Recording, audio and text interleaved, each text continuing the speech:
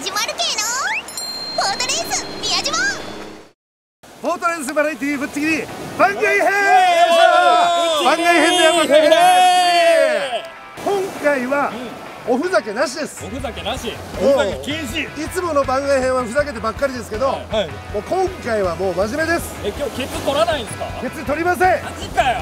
脱ぎません。脱がないんですか？海にも何やってんの？ってねえわしか読んじゃねえよお今行前真面目にっていう話をしてんのに。真面目にやるんですよ。なんでこういった真面目な企画かというと、はい。しかしまあこれ波の音うるせえな。おい。めちゃくちゃ綺麗なんだけどよ。すんげえ声張らないと声めちゃくちゃ張ってるよこれ今まあこういった素敵なロケーションでお送りしてますけども、今回の企画はですね、元ボートレーサーの池田明美さんがはい。運営するモフラボビレッジ。お。はい、えー、保護犬保護猫活動をね今されてるんですよ。はい。だけど我々4人がねそういった真面目な活動をされてる池田明美さんのところにお邪魔したらもしかしたらとんでもないことになる可能性があるのではい。ボートレース宮島といったらこの方です。この方も手伝いたいということで自主的に参加してくださいました。広島支部実森美優選手です。どうぞどうぞ。実森選手よく来てる。おバカ野郎お前。バカ野郎。選手を何だと思ってんだ選手に何やってんだよ。実森選手はあれですかあの池田明美さんのこの活動は、えーされてることは知ってましたか？もちろん知ってました。知ってましたか？ずっとあの来たかったので、はい今日来ていただけて嬉しいです。ありがとうございます。そう言っていただけたら嬉しいですね。じゃあもうあの波の音で耳もやられてきたんで そろそろ行きますか。はい。はい。それでは行きましょう。レッツゴー！よっしゃい。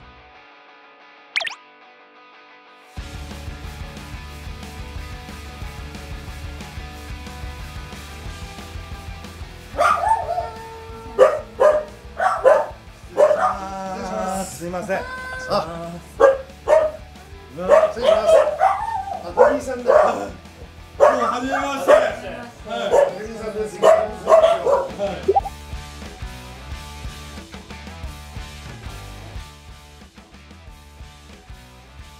さあ改めまして元オートレーサー池田明美さん、本日はお邪魔します。すいません。よろしくお願いします。お願いします。よし本当すいません。急に押しかけちゃって、えー、明美さんがキャプテンを務められているオフラボビレッジ、こちらあのどういった活動をされてるんでしょうか？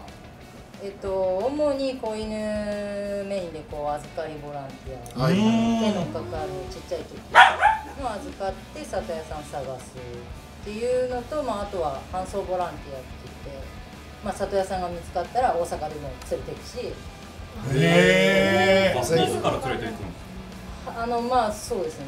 日程合えば私が連れてってはしてとあとはあれか子犬がどっかの竹やぶにいるよって言ったらあの動ける若い女性動け る若い女性 そうそうそうそう。おばちゃんばっかじゃもう全然追いつかない。いやもう大変ですよねそれあはーもうほんであの山の中入って走り回って捕まえてなるほど。となるとじゃあ実森選手も次回からまた僕まだ全部動けますからね。そうですよ呼んでほしいです。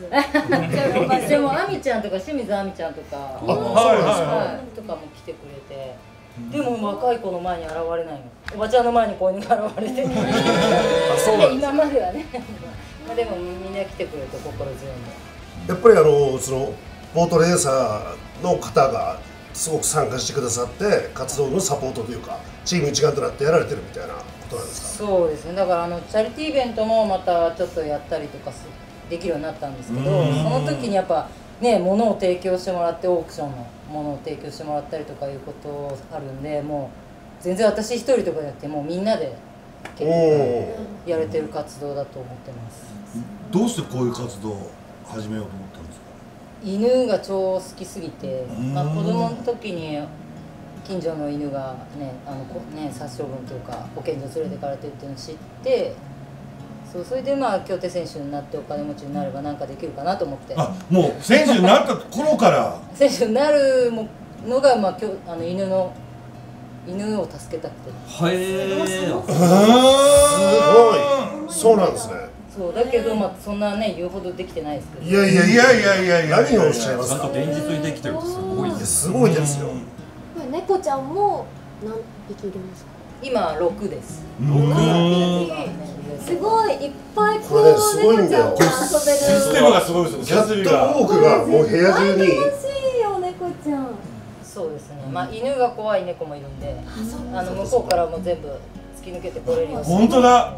ドアの上も。これだけを通れるようになってるんだ。本当だ。これもすごいですよこれだって。明美さんがまああの一人とは言わないですけどまあ自分自分でってことです。はい。であの開通もコンクリだったんで中がうん。自分でドドドドドってすごいね。あそうですへ愛がすごいですよね。ねえ本当そうですよ。ワンちゃん猫ちゃんなんかもう自分で何でもやれちゃってますもんね。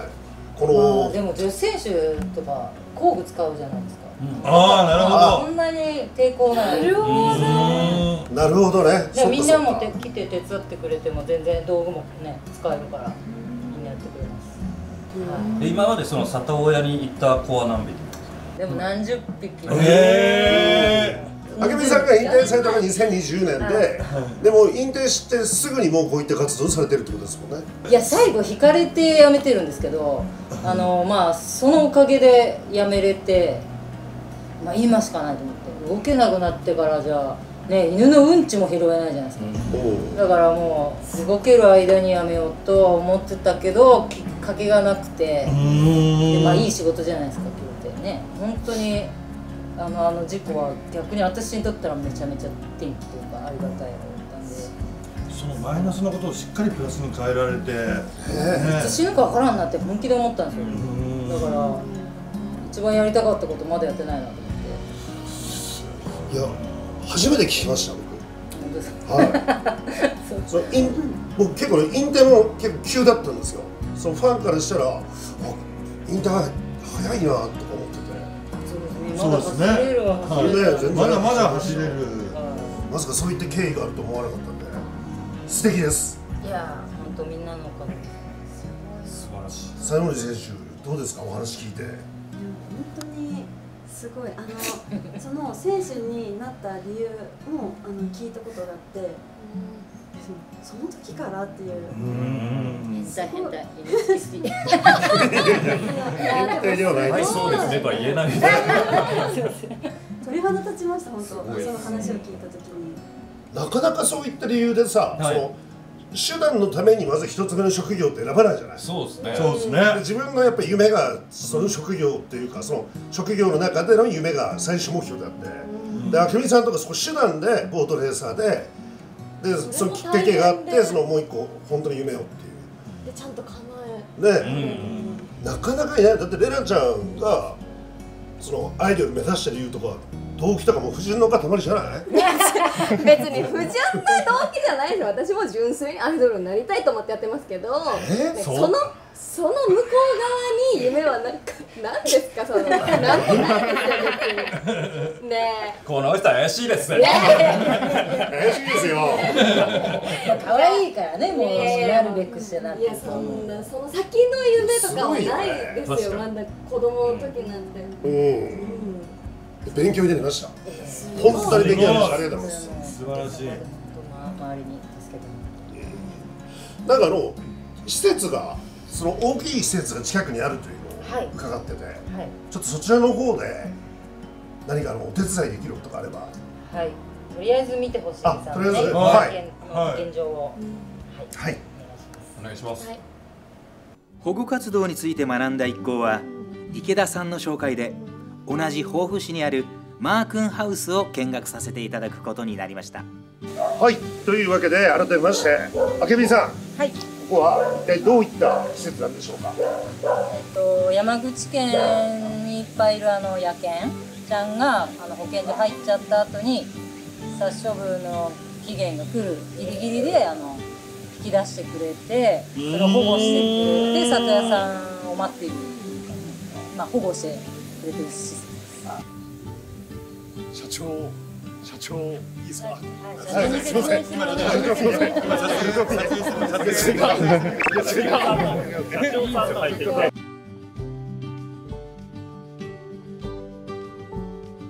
山口県の場合は保健所にいて1週間経ったらもうそれで里親さん決まらなかったらもう殺処分になるその前にあの引き出して助けてここ里屋さんをつなぐ。っていうなるほどね。さっきから鳴き声が聞こえるんですけど今何頭ぐらいですか？今150トン150頭！社長面倒見てるんですか？そうですね。うわーすごいです本当にもう。尊敬します社長じゃああの中見せてもらってもいいですか？ですごいあの掃除とかも行き届いてますにされてます。家はないでしょ？いや本当に綺麗です。池田さんは豊富に来てから知り合われたんですか？あそうです。頑張ってらっしゃいますか？らいやいやめちゃくちゃもうすごいいろいろですなとこ紹介していただいて。うーん。うちにはなくてはならない人です。素晴らしいです。本当に。先ほど社長のねお話伺いましたけど大変ですよ。やっぱその運営する費用であったりとか。いや本当ですね。チュールなら食べそうって言ってますあうん誰か差し上げてうまい。んだよね。あすごいやっぱチュールすごい。ですねすごいですいや本当ですよ。保健所入ってめっちゃビビってる子でもチュールすごくないですかもうなくなったの保護猫を僕も預かって飼い始めてチュールで心が通じ合いました本当に。ファーストコンタクトチュールです。よ一匹でも多くの命を救いたいと活動される岡本さん。殺処分についての現状や課題をお聞きする中でまずは多くの人にこの活動を知ってもらうことが大切だと学びました。いやーケビンさん本日はありがとうございました。ありがとうございました。あのとても勉強になりました、えー10月にあのボートレース宮島でチャリティーイベントがあるとのことなんですけども詳細教えてもらっていいですか？はい、えっと、私たちも、えっと、チャリティーオークションをやろうとは思ってるんですけど、その時はよろしく。と、あとは、あの、広島の保護団体さんに来てもらって、あの、啓発活動を2日間旅行してもらおうと思います。これが日にちが10月の13時。13、14ですね。はい、ぜひあのふるってね、他にもあのでっかいイベントですもんね。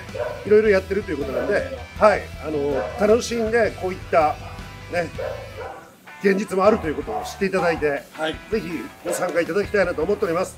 さあ、実森選手、今日どうでしたか？はい、私自身もあの動物が大好きなんですけど実際この現実を目の当たりにしてなんか私も今後何かあのできることがあったらあの積極的にしていきたいなと思ったしあの池田さんとかその社長のなんか凄さを実感して今日来れてよかったなってすごい思いました。あありがとうございますり。がとうございます。もう我々も本当に勉強になりました。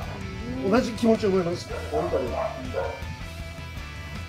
さあ、大丈夫ですか、あるよ、あ僕の感想いいですか？なんかね、さっきからずっと言い言い出そうだったんで。あのやっぱ自分の目で確認しないと分かんない世界があるな。あ、ちょっとごめんなさい、車来ちゃった。なんで今来るんですか？すみません。車が来ちゃったんで。逆にありがとうございます。今今まで待ってたのに我慢できなくなってきたね。あの特に僕からはないです。いや本当勉強させてもらいました、ありがとうございました。ということで、改めまして、池田明美さん社長、本日はありがとうございました。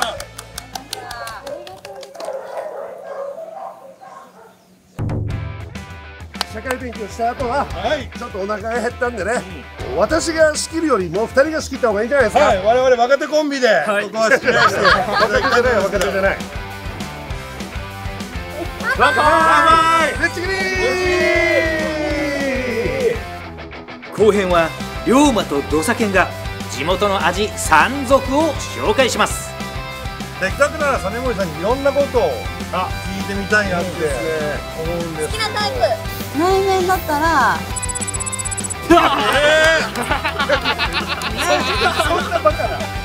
実森選手のプライベートな話から今後の目標まで語り尽くします。後編もお見逃しなく